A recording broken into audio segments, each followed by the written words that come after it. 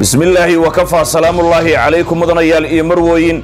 Taliyaha belayska federaalka soomaaliyeed oo sheegay in ay diyaar u yihiin inay xaqiijiyaan sugidda amniga iyo weliba baahiyaha dowladnimada loo qabo. Ku soo dhowaada southern media corporation oo mar walba aad ka heshaan wararka xaqiiqooyinka siyaasadaha isdiidan iyo kuwa is-ogol ee sarasabaynaya geeska afrika mudanayaasha iyo marwooyinka qiimaha iyo qaayaalahow taliyaha belayska federaalka soomaaliyeed genaraal sulub oo warbaahinta qaranka soomaaliya la hadlayay maantay ayaa carabka ku adkeeyey inay diyaar u yihiin xaqiijinta amniga. Sidoo kalena ma arkayse diyaar ay u yihiin buuxinta baahiyaha belayska looga qabo ama looga baahan yahay in ay buuxiyaan ma arkayse shacabku baahida ay u qabaan yacni caawinta ma arkayse dhismayaasha xarumaha dawliga ah ee belayska uu leeyahay walow debdemiska ilaa iyo hadda belayska soomaaliyeed aanay hirgelinin dadkii deganaana boqolkiiba boqol ilaa iyo hadda aan laga saarin. Haddaba genaraal sulub ayaa damcay inuu magaalada baydhabo ka dego maalmihii la soo dhaafay si ciidanka meesha jooga ee stateku leeyahay uu uga dhiga kuwa federaalka ee isagu iyo xasan ay ka amar qaataan sifo ciidankaasi loogu baabi'iyo dadka reer mayland dowladda abdicasiis xasan maxamed lafta gareen iyo dowladda xasan sheekh maxamuud oo kala dhaqaaqay oo bidixda isku salaamay ayaa ma arkayse ma arkayse natiijadeedu waxay noqotay in sulub iyo taliyaha milatariga federaalka soomaaliyeed oo loo diray meeshaasi inay ka degaan oo ciidamadaasi digil iyo miriflaha ay soo daabulaan kuwo kale oo hawiye ah.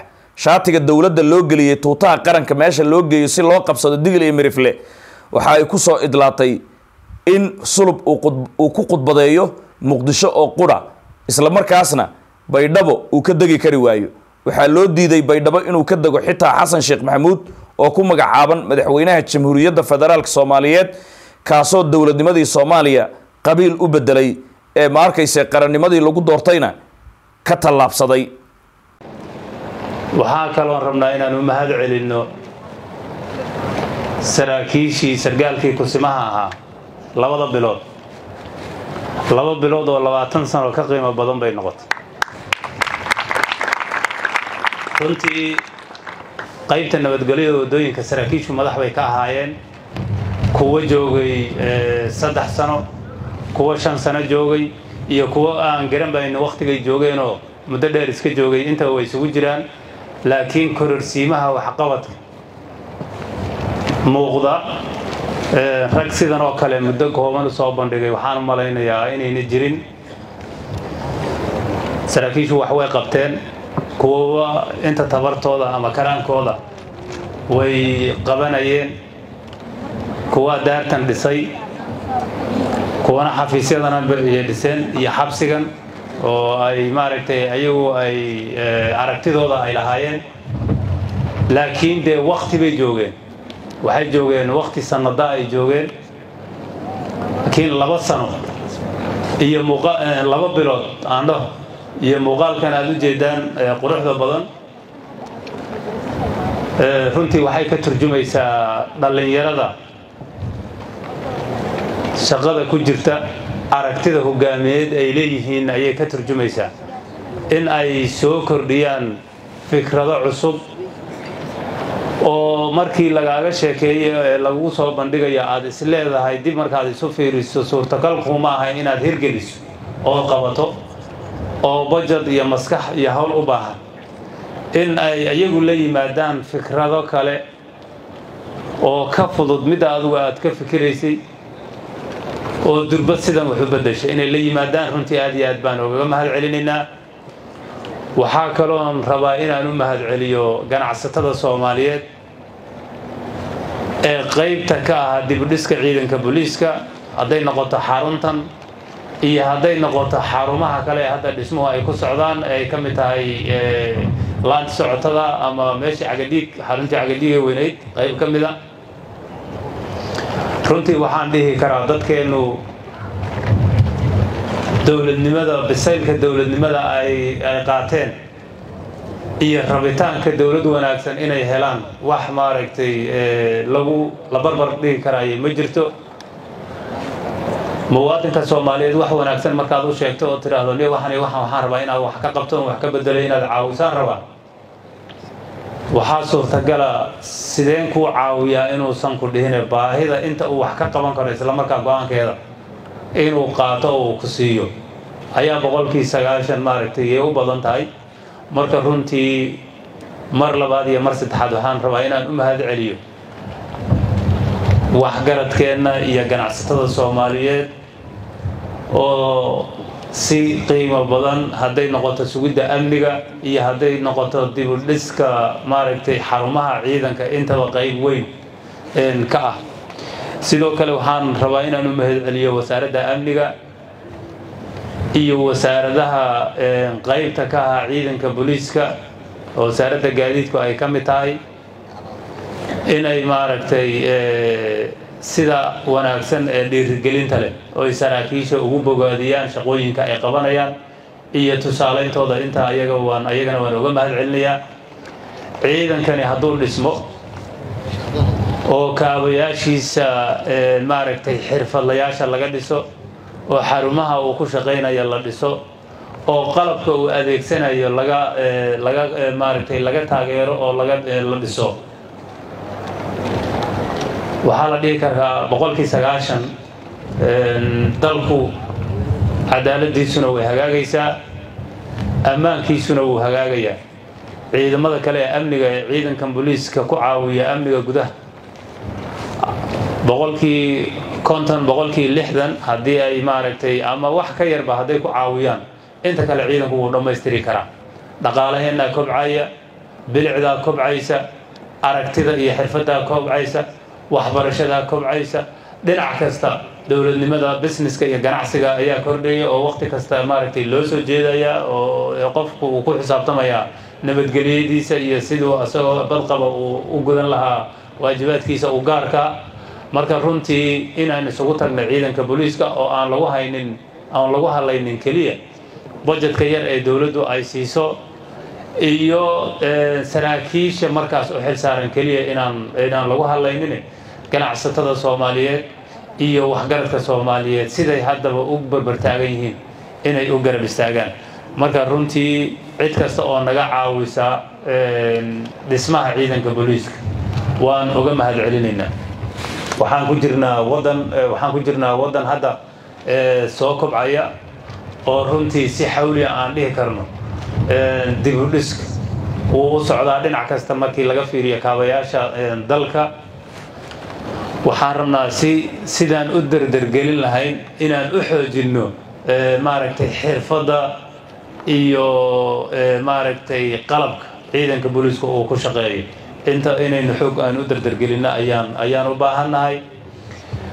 Waxaynu soo marnay wakhtiyo adag oo ciidamada iyo dadka soomaaliyeed ay ku soo shaqeeyeen cabsi iyo rundud oo qofku uusan xor ahayn inuu ku tago goobaha uu ka shaqaynaya ama xafiisyada dowladda. Si xora inuu u tago uusan markaas uusan keri karin oo ka cabsanaya in jidka loo galo ama uu ka cabsanaya muuqaalka dowladnimada in lagu soo raaco. Waynu ka nimid maantay taas. Tii ay canab xildhibaan hore canab xasan ay ka sheekaynaysa goobjoog baan ka wada ahayn waxyaabo kaleoo ka foolxun baynu soo marnay. Laakiin maantay dowladnimadii baynu ku xaragoonaynaa. Xilligan aynu hadda joognayno goobahan oo kale ayaynu ku caweynaynaa. Meelo badan oo halkan oo kale ah oo caasimadda ka mid ahana sidan oo kale loogu caweynayaa marka waxay ila tahay moraal ahaanna dadkeennu way kobceen wuu fiican yahay. Dad ahaan waxa la yidhaahdo dhaqaal ahaanna meel fiican baynu maraynaa amni ahaanna dee waatan halkan aynu fadhinaa xilligan siqda dhexaa marka waxaan leeyahay aynu horey soconno aad iyo aad baad u mahadsantihiin waxaan rabaa inaan u yeedho taliyaxeenka hogaanka taliyaxeenka qaybta guud ee nabadgelyada waddooyinka kursimihii xaruntan hirgeliyay say dadka horta bal u arkaan. Waxaa kaloon rabaa inay halkan yimaadaan u yeedho asagana. Taliyaha hadda xilka la wareegaya ee asagana maaragtay aan rabno inuu shaqadan meesheedii uu ka sii wado. Dardaaran yar baan siinaynaa asaga. Ha isdhihin nin laba bilood joogay baa waxaan qabtee wax walba derder. Waxaan rabnaa inaad wax fiican qabato shaqooyin fiican oo horumarka ciidankaaga. Aad madaxda u tahay iyo hogaaminta saraakiishaada inaad wax fiican ka qabataa ayaan ayaan u baahannahay. Mudane wasiir say isugu egyihiin waad u jeedaa garaad ahaanna way isla egyihiin muuqaal ahaanna way isu egyihiin da ahaanna way isla marka waxaan ka filanaynaa waa taliyihii iyo taliya ku-xigeenkii woy macnihii ninkani kusimo unbuu ahaa. Meeshuu sii joogay taliya ku-xigeenkii qaybta nabadgelyada waddooyinka ayuu ahaa. Haddana wuu yahay saaxiibkiisu ay aada isugu fiican yihiin oo ay muddo dheer soo wada shaqeeyeen. Hadda asagaa hogaaminaya qaybta. Marka wuu ku soo hagaagay asaga oo maaragtay orodkii labadii bilood ku dhammaystiray asagana waxaan rajaynaynaa in hogaankan qaybtani xarumo kale oo waaweyn bay leedahay xarumahaasna in la soo celiyo dhismaheedana ay noqdaan sidan iyo si ka qurux badan sida ugu dhaqsaha badan inay u dhismaan. Marka inaan idin tuso un baan arkay si isugu yaan rabay say isugu egyihiin isulana egyihiin marka waxqabad wanaagsan iyo shaqo fiican baan ka sugaynaa haddii alla idmo dhammaan saraakiisha ciidanka booliiska qof walbana meeshuu jooga sidan oo kale aan ka rabnaa. Runtiina way shaqeeyaan saldhigyada ciidanka booliiska dhammaantood bilicdooda wax yar meel meel uun hadda u baahan intay duqoobeen in la dumiyo oo la qurxiyo maahaane say canab ku ogeyd waa laga bedelay meel musboosa ciidanka booliisku uu leeyahay oo saldhig u ah sideedaba ma jirto. Laba saldhig baa ugu yar saldhigyada ciidanka booliiska uu leeyahay. Waa saldhigga degmadan hadda aan joogno ee shangaani iyo saldhigga degmada waaberi labadaasaa ugu yar labadoo nusboos way ka weyiin saldhigyada kale saldhig aan boqol boqol ka weyneyn ma jirto qaarkoodna waaba saddex boqol afar boqol oo mitir ayay dhan yihiin. Aad baan maaragtay saraakiisha ciidanku aan u ammaanayaa dib u dhiska iyo qurxinta xarumaha ciidanka booliiska ay ku wadaan. Waxaan rabaa inaynu meel qurxinno oon xafiisyo qurxoon aan fadhiisanno. Dadkeennina ay dhibaataysan yihiin. Wax macno weyn oo inoo soo kordhinaysa ma jirto inaan dhisno xarumihii aan qurxinno kuwa maqan aan soo celinno dadkeennana aan baahi tirno oon u adeegno oon isku dhexwadnaan u baahannahay waxaan u baahannahay cadaaladii inaan ka shaqayno oo dadkeenna cadaaladda ciidanka booliiska ay u soo aadaan. Hadday tahay taraafiko iyo hadday tahay saldhig iyo qaybta guud booliiska gobolka iyo hadday c i d tahay iyo guud ahaan ciidanka booliiska ee cadaaladda ka shaqeeya ee dadku cadaalad u soo doonanaya u soo cadaalad doonanayaan inay u dhimriyaan u cadaalad falaan. Muwaadiniinta ay u adeegaan ee u soo cadaalad doonanaya inay u dhimriyaan oo ay u adeegaan si hufan ay uga adeegaan. Ayaan faraynaa in aynu gudanno waajibaadka dhabta ee aynu leenahay. Inaynu u shaqayno aynaan ka shaqaysan. Runtii maantay waxaan yeelanay kulan ballaaran baan waxaan yeelanay bahda garsoorka iyo ciidanka booliiska waxaan ku ballannay shaqo hufan oo cadaaladeed in dalka loo qabto. Waxaan ku ballannay cid kasta oo caqabad ku ah sugidda amniga caasimadda iyo dalka oo dhan in si isku jira looga hortago. Waxaan ku ballannay qof kasta oo dadka ka shaqeeya cadaaladda iyo fulinta ka shaqeeya oo ciidanka booliiska iyo garsoorka isugu jira in tallaabo laga qaado in cadaaladda loo sinaado oo qofka madaxda qofka maaragtay aan madaxda ahayn ee muwaadinka markaas aan shaqada ku jiran ah isku si in loogu cadaalad falo. Oy baahidaasi noqoto baahi cadaaladeed oo ninkani uu xoog weyn yahay laga leexdo iyo kani uu tabar yar yahay hal abuurta inayna dhicin runtii mudane wasiir aad iyo aad baan kaaga mahad celinayaa imaatinkaaga aada caawa noo timid. Waxaa naga go-an ciidanka booliiska dib u dhiskiisa. Waxaa naga go-an in aan soo kordhinno xirfadlayaal dhallinyaro ah oo aqoon-yahana oo jaamiciyiin inaan ciidanka ku soo kordhinno. Waxaa naga go-an in ay noqoto maaragtay goobaha ciidanka booliiska uu ka shaqeeyo ee dadku dadweynaheenu ay serviska u soo doontaan. Inay noqoto inay noqoto meelo u qalma. Muwaadiniinta soo aadaya u qalma inay noqoto. Ayaan ka shaqayn doonaa haddii alla idmo xaruntan hadda aan joogno iyo ciidanka nabadgelyada waddooyinka iyo shaqada ay hayaanna. Inaan xoojinno oon labalaabno. In baahiyaha yaryar ee hadda jira oo dhanka gaadiidka iyo jiidayaasha iyo waxyaabaha yar ee maaragtay noo dhimanna sida aan dadkeenna u kaashanay muwaadiniinta hadda shaqooyinka nala qabanaya inaan u kaashanno. Wasaaradeenna aan kaashanno. Inaan baahi tirnaan rajaynaynaa haddii alla magaaladan isu socodkeeda waxyaabo fara badan ayaa ka dhiman oo calaamadihii tilmaamayey muwaadinka gaadiidka wata tusaalaynayay socodkiisa iyo tilmaamaha waddada qaabka loo maro weli ooma dhammaystirno. Waddooyin fara badan oo iska maaragtay cidhiidhi ah maantay aan sidii loogu talagalay aan loo marin ayaa jira.